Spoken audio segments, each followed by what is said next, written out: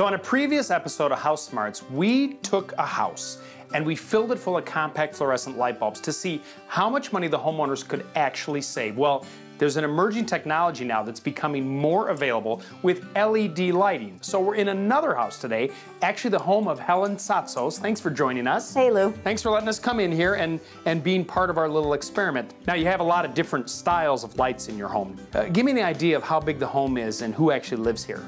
We have about a 2,000 square foot home, three bedrooms, two bath, my husband, my two kids, and our dog, Billy Bones. I'm looking around, you got a lot of different kinds of lights here. Mm -hmm. What is the average electric bill?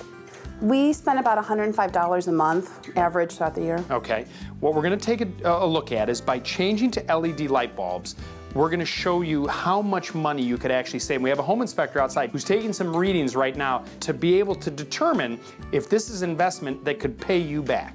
Uh, basically what we do is we do a load calculation based on the amount of bulbs in the house, the power usage, and a year or two of previous electric bills to get an average monthly cost that, they, that the homeowner will spend with and without lighting to figure out how much they actually do spend on lighting in the home.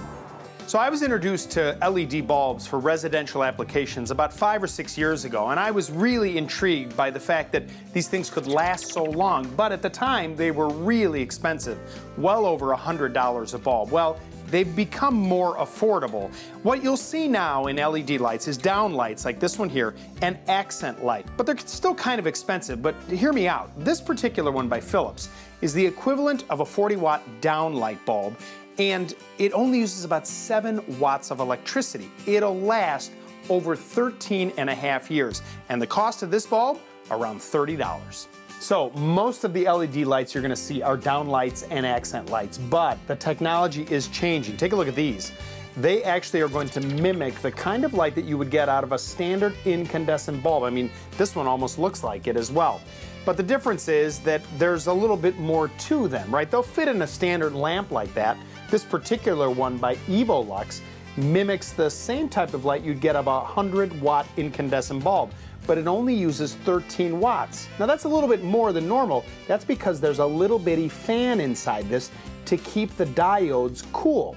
Now, while LEDs don't give off a lot of heat, they don't like being confined. And in order to get that light, they have to encase it in a lens, thus keeping it cool. Heat is important, to make sure that these bulbs operate correctly. And this bulb costs about $80, so it is expensive. Now, speaking of heat, Justin has a little experiment to see how much heat these bulbs actually give off. Using a thermal camera, it's easy to see the difference. The incandescent bulb is well over 260 degrees, the CFL about 175 degrees, and our LED bulb about 80 degrees. All right, so we got all this information about your home, the amount of lights that you have here, and now we've got some calculations. All right, let's remind everybody what your monthly electric bill is. Every month we pay about $105. Okay, now we determined with all the lights in your home that the portion that you pay that goes to lighting is about $42. So it's about, about 40%. If you went to LED bulbs, that portion of your bill could go from about $42 to two to three dollars a month. Seriously? Yeah, and so the idea is that in a year you could save anywhere from probably four to up to five hundred dollars because now you're saving so much money you're going to keep the lights on more.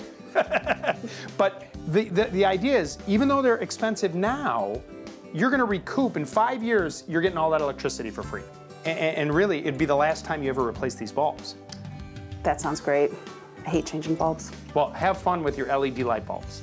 Thank you very much.